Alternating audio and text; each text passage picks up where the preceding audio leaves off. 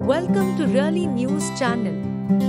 Chinese astronauts are in training for four crewed missions this year as China works to complete its first permanent orbiting space station. The Chinese Space Agency CNSA listed 12 astronauts training for the crewed missions, including veterans of previous Shenzhou flights, newcomers, and women.